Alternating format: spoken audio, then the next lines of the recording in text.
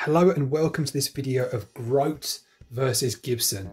Um, I thought this might be possibly my most ridiculous comparison yet of guitars, but having said that, it's actually not that ridiculous at all. One's many, many times the price of the other one, and the other one is just ridiculously cheap. And um, you might think it's a bit of a bag of bolts, and um, why would you ever want to buy one? But frankly, uh, they are both really good fun guitars to own. So I thought I would just go through a deep dive comparison of the Grote and the Gibson, and you can see what you get for the money, really. Because there's so much that's in common with these guitars if you know what you're doing and there's obviously a, a, lot of differences. Let's not beat around the bush. Um, the Gibson is a fine piece of um, artwork almost, and the Grote, well, know, you can make up your own mind. Um, I think it's an absolute beauty, and in fact, as time has gone on and I thought about doing this comparison, it's become less and less ridiculous in my mind to do, because the Grote um, I've done a review on that a little while on my channel, uh, a little while ago, and you will see that I think it's kind of got its problems, but it's a pretty cool guitar in a lot of ways. Whereas the Gibson, I haven't yet done a review on. Um, I've done a few, a few videos which featured it though, and it is, frankly, it's an awesome guitar. It is an awesome guitar, let's be honest. Um, there isn't really a lot wrong going on with it. It's got fantastic electronics, it's got nice build quality, it's got the full thickness maple top there and a mahogany body, whereas the Grote, um, supposedly mahogany body, mahogany neck, uh, rosewood fingerboard in fact, um, possibly Indian laurel, I think maybe on some. It really just depends on availability, that kind of stuff. But the Grote is actually, strangely enough, quite a good guitar. I would not dismiss it out of hand at all. Uh, just look at that flame top. Um, that is really, really gorgeous. There's so much that can be done with this guitar. I initially criticised it for the weak tuners, which I'm going to upgrade. Um, I've been playing it with those tuners for a little while. They're not terrible, they're not the best by a long way. The pickups, some people have actually said in the comments that um, a few people have taken these off and they found their single coils under there. I haven't yet taken them off. They do sound very much like humbuckers. I'm going to do a sound demo later and you'll you tell me what you think. I'm not anxious to destroy these humbuckers to find out exactly whether they are single coils or not. They look like humbuckers, but hey, you never know. Um, it's fairly standard hardware on here. You do have that flame top. You do have um, these plastic knobs, which function fine. Um, there's no big issues with those. I'll do a smoothness test as well on these actually in the sound demo when I do it um, in a few moments and you can see how smooth or not all these control knobs are. I would say this is a really great foundation guitar. If you know what you're doing with guitars, you know what you're doing and mucking about the screwdriver, sandpaper and all the rest of it, there's a lot you can do with the Grote and it is pretty, pretty awesome. I actually, as time's gone on, I've really learned to really enjoy this guitar. By the way, I'm not sponsored. I frankly have got no vested interest in saying nice things as usual about either brand, but um, the Grote is actually a really, really cool guitar. It looks so sweet with or without pickguard. I really love this thing. It's, it's really, really cool. Um, Gibson, obviously, this is a very, very nice guitar indeed. This is a relatively recent purchase. This has got the 490R, 490T in here. It's got the toggle switch. It does have a poker chip that came with it. Um, I've decided not to put it on for now, frankly, because I'm a little bit lazy and haven't done it, but I also think it looks really cool without. Well, I mean, why, I don't need to do that.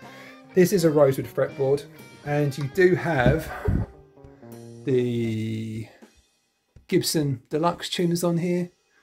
Um, so no arguments there. It's got a nice slim neck on this one. It is about 21 and a half at the first, give or take, and about 23 odd at the 12th I've measured it. As I say, a full review is coming on this guitar, but I just want to do a quick comparison of these two because you would think they are worlds apart, and in many ways they are. But if you are going for that kind of Les Paul sound, Les Paul look, and you're on a budget, and you can be bothered to spend a bit of time on it, the Grote is not to be dismissed at all. Especially given that even, you know, kind of second hand, I'd say you might be able to pick up a Grote for say around about 100 to 200 dollars, pounds, euros, that kind of price. The Gibson is vastly more expensive than that, and this is a cheap one. So, um, you know, this is my one This is my one Gibson for the time being.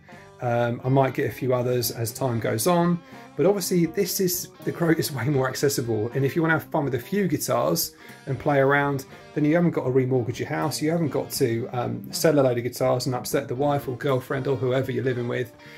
No, you can just get a whole bunch of these and um, muck about Harley Benton's, whatever you want. And I really, really rate this guitar. Is it night and day between these two? I would actually say no. It's not. It's not night and day. Um, you are paying a lot of money extra for iterative gains in what you actually receive. Now, what I would say is obviously the, the hardware on here could really do with upgrading here and there. Clearly, these humbuckers you might want to ch change over time.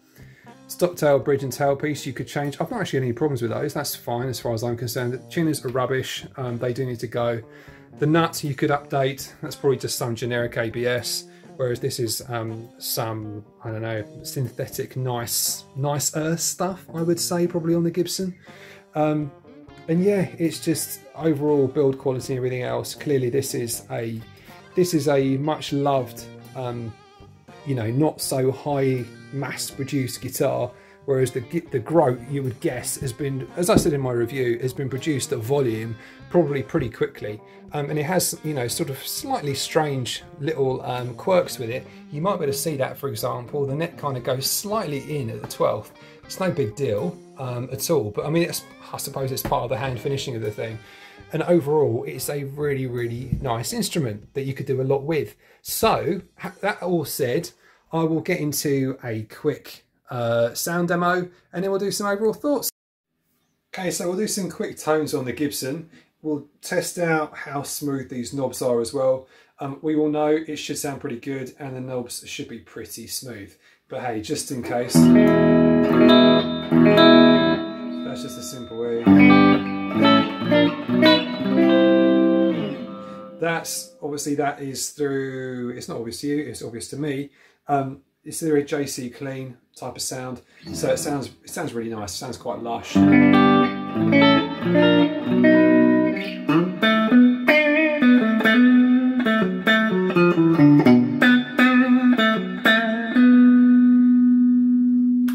That's both pickups by the way.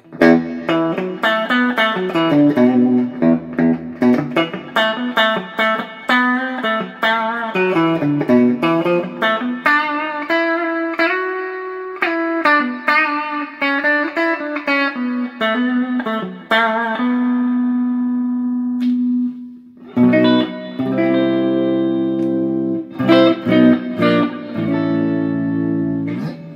sounds really nice. It sounds really nice. In terms of the smoothness, the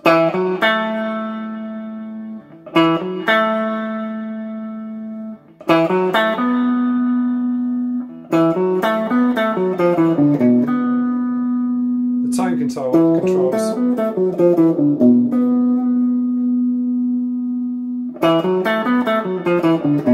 nice and smooth, as you would think. Volume.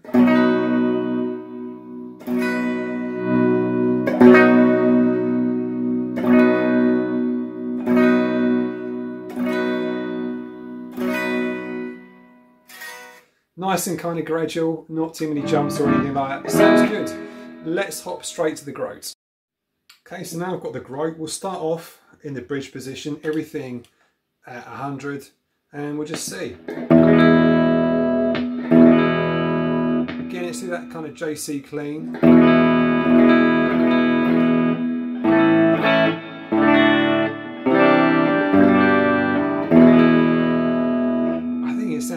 Powerful actually. It, sounds really good. Um, there's the middle position.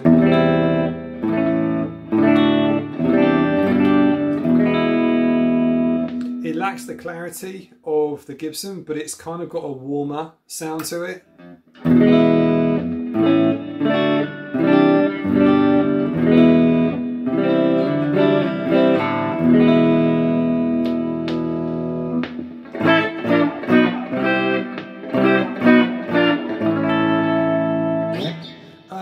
Fair, the sound isn't necessarily better or worse than the Gibson. It depends on what you kind of wanted to go for. Um, I don't see any, and that's really why the reason why I, I kind of feel like the internet is um, encouraging me, um, forcing me to change the pickups on these from what everything I've read and seen. But I own this guitar. Um, I think they actually sound pretty good. I, I really like the way they sound. I don't, I don't, feel particularly motivated to drop another few pounds or, you know, any kind of money um, upgrading pickups. The tuners is a different matter. It's fine for everyday use, but in terms of bending, um, it goes out of tune fairly quick. So tuners definitely are getting a change, but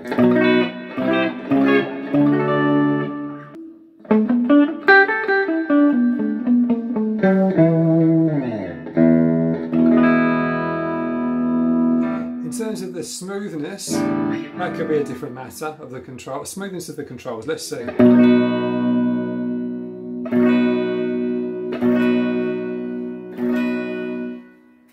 mean, that's your volume.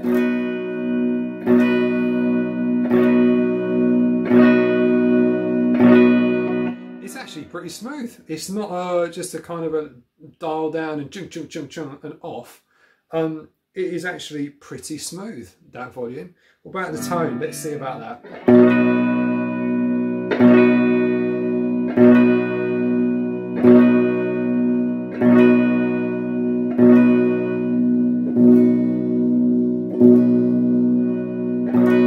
I think there's it goes down quite gradually and then suddenly there's a there's a step change right at the end where it just kind of goes kind of muffly at the end.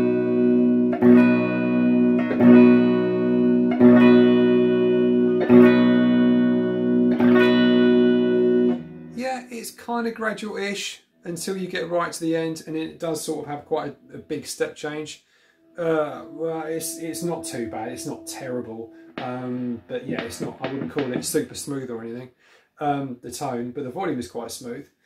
Overall, um, I think it's a really nice guitar. So let's just. I'll just grab a Gibson, and um, we'll do overall thoughts as I'm stood here. Um, so Gibson Grote, obviously the Gibson is a is a, a superior guitar. Um, if you've got the money, that's the one probably that you should go for. Hey, I mean, that's just logical, isn't it, really, in a lot of ways. The Grote, though, is uh, quite a beast. It's actually a pretty great guitar with huge potential. Um, all I'm going to change are the, uh, the tuners on this thing. They're a bit on rough and ready. Um, it is what it is. Um, really no me feet on a guitar, which to be fair is a set neck guitar and it is dirt cheap. Um, you know, if you look around, these things are not expensive at all. It's a wicked, wicked guitar. Um, I am not sponsored by either. Um, as I say, I've got PRS, I've got Fenders, I've got all sorts. But I really do like the Grote. I think it's a cool guitar and it is just, I mean, that top is just beautiful. I know it's not all about how a guitar looks, but it does make a difference, let's be honest. Um, we all buy this because they look nice or look cool. And uh, this does look really, really cool. And mind you, the Gibson looks really cool in a different way. Understated, shall we say. Um, but yeah, both really cool guitars. And um, yeah, don't dismiss the Grote. Don't dismiss it. It is a pretty cool thing. Right, see you next one. Cheers.